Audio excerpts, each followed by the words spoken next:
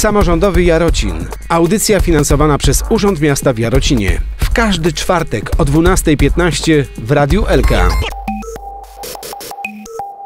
Kamil Bachosz, witam i zapraszam na kolejny program Samorządowy Jarocin. Dzisiaj moim Państwa gościem jest Pan Bartosz Walczak, zastępca burmistrza Jarocina. Dzień dobry. Dzień dobry Panie redaktorze i dzień dobry Państwu. W dzisiejszym programie porozmawiamy o inwestycjach. Na początek o tym, co się dzieje obok spichlerza Polskiego Roka, bo tam powstaje rondo. Co to jest za inwestycja? Tak, dosyć dużo dzieje się w centrum miasta, również przy spichlerzu Polskiego Roka dużo się dzieje. Powstaje rondo, które znacząco ułatwi komunikację w tym miejscu i bezpieczeństwo zarówno wszystkich użytkowników ruchu samochodowego, jak również pieszych i rowerzystów. To rondo jest jeszcze zamknięte. Jak długo mają jeszcze potrwać prace związane z jego budową? Prace przy budowie ronda potrwają przez miesiąc październik. Mamy zapewnienie ze strony wykonawcy, że do wszystkich świętych rondo będzie przejezdne ale rondo połączy ciąg ulic w Jarocinie m.in. z ulicą Kasztanową. Tak, rondo stworzy ciąg komunikacyjny tak de facto od Alei Niepodległości przez ulicę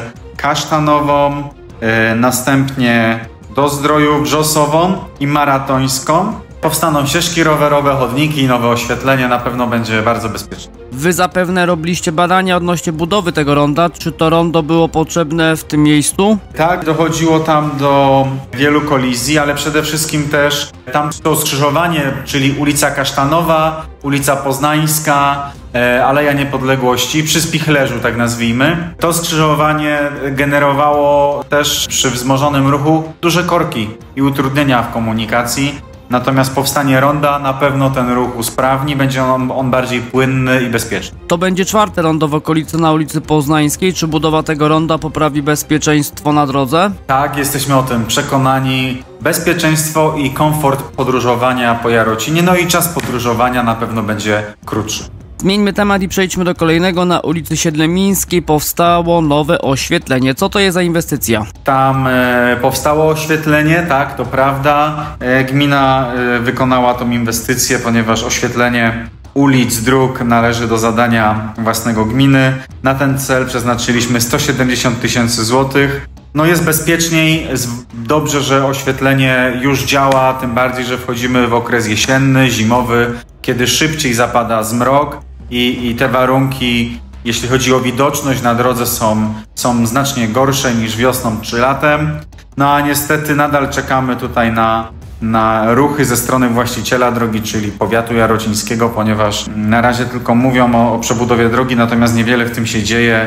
Jeśli będą chęci i wola z ich strony, no to, to też tutaj możemy przeanalizować, w jaki sposób tutaj włączyć się w, w tą inwestycję. Mieliście sygnały od mieszkańców, że to oświetlenie jest tam potrzebne?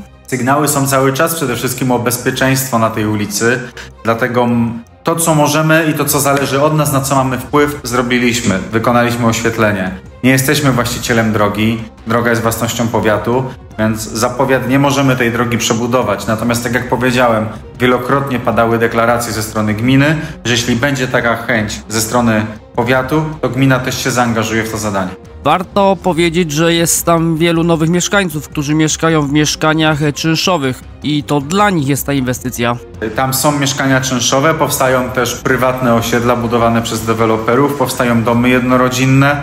Wszystkie pozwolenia na budowę wydawane są w starostwie powiatowym, właśnie, które jest właścicielem drogi, więc też mają wiedzę na bieżąco, ilu mieszkańców tam przyrasta y, w skali w skali e, miesięcy czy, czy lat. To tą informacją zakończmy dzisiejszy program. Moim Państwa gościem był Pan Bartosz Walczak, zastępca burmistrza Jarocina. Dziękuję. Dziękuję, pozdrawiam i do usłyszenia. Kamil Bachosz, dziękuję. Zapraszam na kolejny program samorządowy Jarocin, który na antenie Radielka już w przyszłym tygodniu. Samorządowy Jarocin. Audycja finansowana przez Urząd Miasta w Jarocinie. W każdy czwartek o 12.15 w Radiu Elka.